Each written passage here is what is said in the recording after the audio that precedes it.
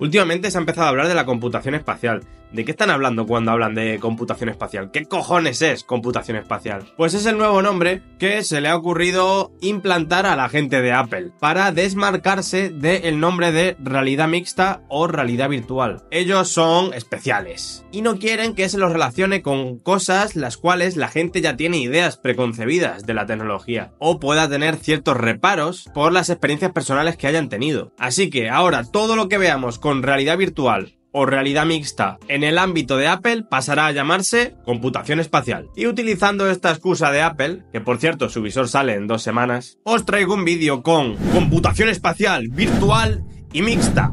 Todo junto.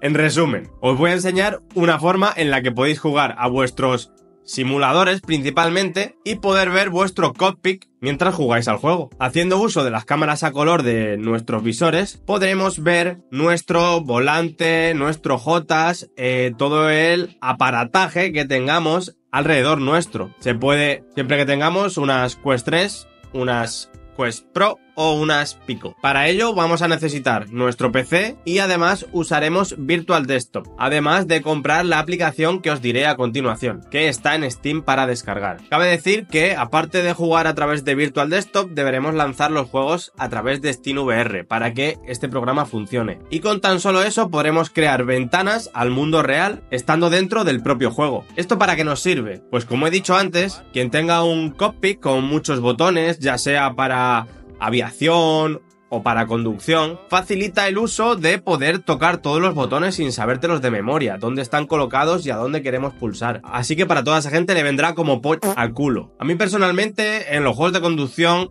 no me parece especialmente necesario ya que tengo un volante y ya. Así que me parece más bonito ver el coche desde dentro. Pero para juegos de aviación sí que me parece necesario ver el JOTAS porque no me sé los botones ni dónde están y necesito una visual del mando para saber dónde está cada botón. E incluso te puedes poner una ventanita para un vaso de agua o lo que tú tengas aquí al lado para poder beber cuando quieres y saber dónde está en cada momento. Incluso si necesitas vigilar la puerta por cualquier caso o vigilar a tu hija que está delante tuya, puedes poner una ventanita y vigilar a tu hijo. Así que aparte de la funcionalidad principal, luego nosotros podemos buscar nuestras mañas y nuestras cosas para usarlo como queramos. Os voy a enseñar cómo hacerlo funcionar y un poquito en la práctica cómo se ve. Pero por cierto, creo que se te ha olvidado algo. Llevo días viéndote por aquí y creo que aún no has pulsado el botoncito de aquí abajo. Venga, anda, no te hagas de rogar. Si te mola el contenido, suscríbete y apoyas de manera totalmente gratuita al canal para que me ayude un poquito a poder seguir subiendo vídeos. Además, si quieres estar al día de noticias, charlar, incluso pedir descuentos de referidos para los juegos que quieras comprar en la store de Meta. Puedes pasarte por el grupo de Telegram, que ya somos unos cuantos, y ahí entre todos pasamos un buen rato. Ahora sí que sí, vamos al lío. Vale chicos, ya estamos por aquí. Os voy a enseñar qué necesitamos para jugar nuestros juegos o simuladores principalmente con la realidad mixta de por medio para así no perder de vista lo que es nuestros Jotas, volante o lo que sea que tengamos. Para empezar, como podéis ver, estamos en la tienda de Steam y es que necesitamos descargar esta aplicación Reality Mixer que pondré abajo en el cajón de descripción el enlace y tiene un precio de 4 euros, ¿vale? Como ya sabéis, si no os funcionase bien o no consigue o no conseguís lo que a vosotros os gustaría, se puede devolver. Así que una vez descargada esta aplicación, iremos a las gafas y con Virtual Desktop nos conectaremos a SteamVR. Ya hemos abierto lo que es Virtual Desktop, estamos dentro de Virtual Desktop y vamos a lanzar SteamVR. Vale, ya estamos en SteamVR. Una vez hecho esto, como he dicho, debemos lanzar la aplicación. ¿Cómo lanzamos la aplicación? Vamos al escritorio, iniciamos y ya se ha cargado aquí abajo, como podéis ver, Reality Mixer. Le pulsamos y se nos abrirá, aquí lo tenemos, ¿vale? Eh, aquí lo primero que tenemos que hacer es ir a, vale, aquí me salen las cajas porque ya lo he activado, ya las he tenido activadas en otro momento. Vamos a borrarlas. Borramos, damos aquí, delete this box, eh, next box, delete this box y next box, que es la que está abajo, delete, ¿vale? Ya hemos borrado todo, volvemos. Aquí tenemos la pantalla principal. ¿Qué es lo primero que tenemos que hacer? Cámara Setup. Vamos a Cámara Setup.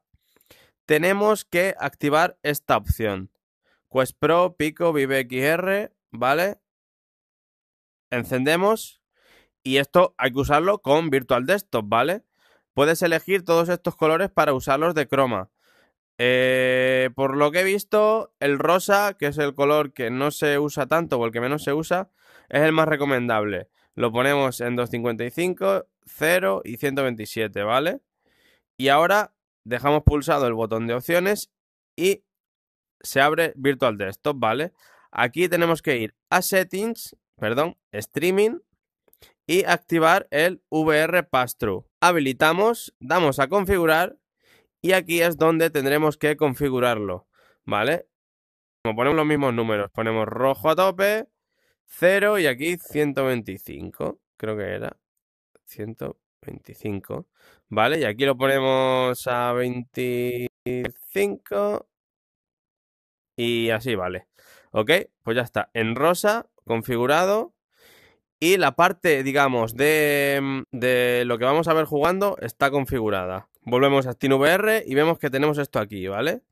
Vamos a página anterior y ahora tendremos que elegir una de estas opciones para lo que queramos. Por ejemplo, eh, para Cockpit también podemos usar, o sea, usamos Cockpit y luego General Purpose y así abrimos varias, varias pestañas. Cockpit pues nos sale esto de aquí, ¿vale? Lo podemos hacer más chico con el gatillo grande en cada lateral. Hacemos más chico y más grande. Esto es una caja que se va a quedar aquí fija. Mientras juguemos y estemos en realidad virtual, esta caja la tendremos aquí viendo nuestra habitación o donde estemos. Por lo tanto, esto se va a quedar aquí listo. Eh, para configurar esta caja, ¿vale? Alejamos el mando de la caja, porque si no, no nos deja. Alejamos el mando, ¿vale? Esto sería para borrarlo como hemos hecho antes. Damos a página siguiente. Esto no sería necesario tocarlo, a no ser que queramos editarlo de alguna forma, de manera especial, rotarlo, pero rotarlo lo puede hacer a mano, que es mucho mejor, ¿vale? Así que vamos, eh, página siguiente. Aquí no tendremos que tocar nada, eh, aquí tampoco sería necesario, aquí tampoco sería necesario, y esto, esto sí que es importante porque ¿veis estas líneas rojas que se ven alrededor? Estas líneas rojas del cuadrado, ¿vale? Pues para quitar eso, tenemos que poner todo al 0%, ¿vale? 0%, lo ponemos al 0. Y esto es el brillo y demás de la cámara, eso no es necesario, ¿vale? Así que le damos a salir del modo editar y ya vemos el cuadrado sin esas líneas molestas. Queremos otro cuadrado para, por ejemplo, yo que sé, tenemos un vaso de agua o tenemos un Jotas. ¿vale? Un J que tenemos un lado aquí y otro lado aquí. Vale, pues abrimos otra vez, abrimos y le ponemos, por ejemplo, General Purpose B, ¿vale? Ahora se nos ha abierto otra caja. Otra caja que la ponemos aquí, por ejemplo. Suponte que tengo ahí un vaso de agua. Lo ponemos ahí, ¿vale? Pues ahí se supone que tengo un vaso de agua. Miramos a ver si está todo al 0%. Si no, lo volvemos a poner. Estamos en la caja equivocada. ¿vale? Estamos en la caja equivocada, así que tenemos que... Nextbox ahora está en esta, ¿vale? Le damos aquí, buscamos y esto está, está al 100%, ¿vale? Así que lo bajamos y listo. ¿Vale? Exit y a tomar por culo.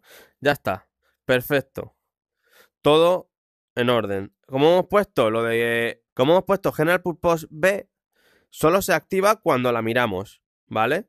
Esa caja está... Esa caja no molesta hasta que ponte que necesitamos beber agua, miramos y se activa. Bebemos agua, taca y ya se desactiva, ¿vale? Eso, pues, para que no moleste y esté por el medio, sirve. O ponte que tenemos una puerta a la derecha. En caso de que haya una puerta y queramos ver si viene alguien, pues miramos y aparecerá la puerta. En caso, pues, Editamos cámara, por ejemplo. Tenemos ahí la puerta. Ahí hay una puerta. Pues estamos jugando nuestro juego y de repente, pues nos hablan. Taca. Nos hablan y hay una persona en la puerta y la podemos ver. Nosotros estamos jugando. Taca, ¿qué pasa? Hola, buenas tardes. Y yo qué sé, esto es un otro uso que se le puede dar. Por ejemplo, ¿no queremos esta caja? Pues la borramos. Delete Xbox. Uy, me he equivocado. Siguiente caja. Delete Xbox, ¿vale? Queremos una caja que no se elimine. Pues tenemos que poner General Purpose A, ¿vale? La tenemos aquí. Y esto lo tendremos aquí fijo. Acordaos siempre de editar el tema de los bordes, porque los bordes son molestos. Y cada vez que abramos una caja, eliminamos los bordes y así no, no molestan. Lo bajamos al 0 y al 0. Y ya está. ¿Vale? Esta caja la tendríamos aquí para moverla donde queramos. Siempre damos a Edit Cámara y así podemos mover la caja, hacerla grande, hacerla pequeña como nosotros queramos, ¿vale? Ahora os voy a enseñar ejemplos jugando. Hay más opciones, ¿vale? Dentro del programa no, es, no tenemos solo esto, podemos hacer más cosas, pero bueno, esto es para eh, enseñaros lo básico para que sepáis mover vuestras cajas y cómo hacerlo funcionar. Luego también podemos hacer perfiles, ¿vale? Hacer perfiles para que simplemente eligiendo el perfil, lo cargamos y se pondrá en el hueco donde lo cargamos la última vez. Así no tenemos que andar eh, configurándolo cada vez que entramos. Pero bueno, esto ya son opciones aparte que bueno, os dejo enredar como vosotros queráis. Vamos a probar a jugar y os enseño cómo funciona lo que es en, juego, en el gameplay. Vale, aquí está el Star Wars Squadrons. Eh, soy un hacha y he grabado el gameplay sin sonido, así que un minutillo os resumo. Aquí podéis ver que tengo los dos cuadros creados para ver la mano derecha y la mano izquierda y estoy pues luchando en el espacio con la nave. Y me ayuda a poder visualizar los botones, ya que muchas veces yo estos botones no me los conozco, no estoy acostumbrado a jugar con estos mandos. Y me viene muy bien, sobre todo para eso, para ubicar cada botón y cada, y cada sitio. Y luego aparte puede estar guay si tienes un copy que mole, tienes las manos y puedes ver todo lo que tengas tú preparado. Como si tienes de repente, estás preparado ahí el salpicadero un coche, pues te puedes poner lo que viene a ser la parte de tu casa y ahí puedes ver todo lo que tengas preparado. Yo, como digo, en mi caso es más bien para uso funcional, ya que no me sé los botones. Pero aún así también mola la sensación de poder estar en la nave y ver tus manos, aunque no sea totalmente inmersivo de tener dentro de la nave lo que son las manos, porque los brazos del muñeco están donde están, pero aún así la verdad es que mola. Y nada, espero que os sirva este tutorial, que al menos os, parezca interesante y si queréis usarlo o estáis buscando una aplicación similar, aquí tenéis esta opción que la verdad es que es bastante útil y funcional.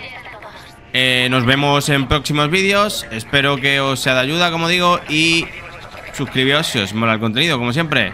Hasta luego.